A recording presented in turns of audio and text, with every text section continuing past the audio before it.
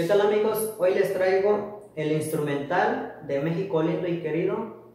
Espero que les guste. Lo voy a tocar en el tono de La mayor. Pues bueno amigos, vamos a empezar con el video. Espero que les guste y me apoyen con un like y se suscriban a este canal.